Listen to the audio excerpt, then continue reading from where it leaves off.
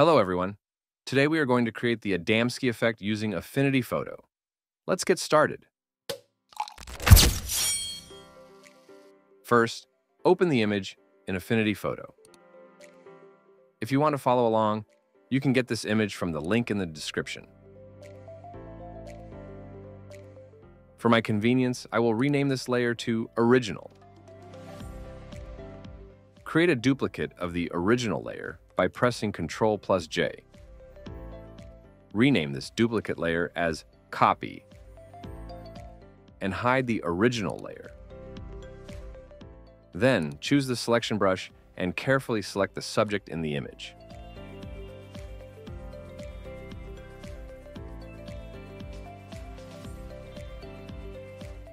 After selection, click on Refine and refine the hair and edges of the subject.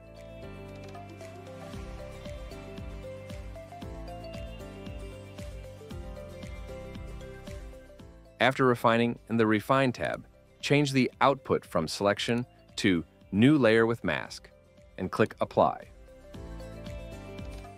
You will get a new layer with the subject masked. You can further fine-tune your selection using this layer mask and brush tool. With the mask selected, draw with a black brush to remove and a white brush to restore.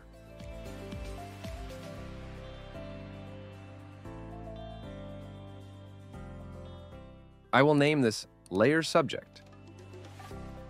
Next, unhide the copy layer. With the copy layer selected, click on Live Filters and choose the Motion Blur filter. In the Filter tab, change the blur radius to around 350 pixels. We have a little problem. Since the subject is on the copy layer, it also got blurred, creating a weird mirage-like halo around the subject. Let's fix this. First, remove the motion blur for now. Then, select the copy layer. Holding the Control key, click on the subject layer to get back the subject selection. Then hide the subject layer. Go to Select and click on Grow Slash Shrink.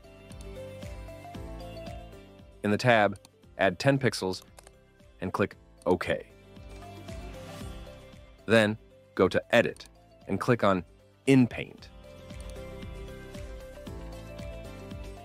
Our subject is now gone from the copy layer. Next, press Ctrl plus D to deselect. I will use the healing brush to fix some odd areas left after inpainting.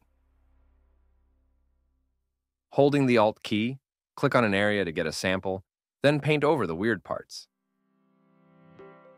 Make sure to decrease the hardness to zero for smooth painting.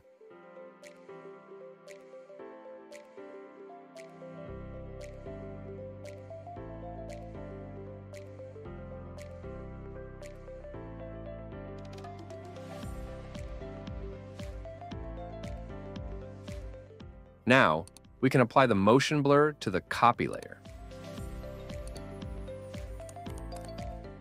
Be sure to check Preserve Alpha to get rid of white edges. Then close the Motion Blur tab. The subject looks like it's floating in the background. Let's fix that. We can fix this in two ways. By adding motion blur to the lower part of the subject, or by removing some blur near the bottom of the subject in the background. I will use the second method.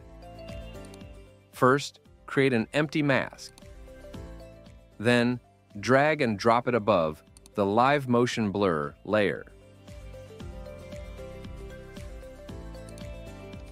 Now, select the empty mask layer and choose the brush tool. Make the brush size almost the same as the bottom part of the subject.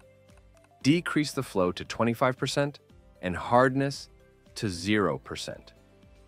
Click once near the bottom of the subject with a black brush to remove the motion blur.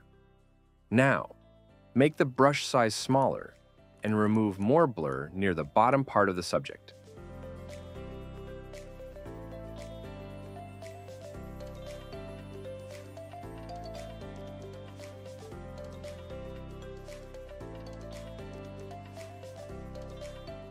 Since we're using a mask, We can bring back the blur by painting with white if we remove something accidentally. Now, the subject no longer looks like it's floating. Finally, let's add some layer adjustments to enhance our image. First, I will add a levels adjustment and increase the black level to around 13 to 15% and slightly increase the gamma value. Then close the Levels Adjustment tab. Next, I will add a Curves adjustment. I'll adjust the curve to make the highlights a little brighter and the shadows a little darker. Then close the Curves Adjustment tab. This is the image before layer adjustment, and this is after. And that's how you create the Adamski effect using Affinity Photo. Thank you for watching.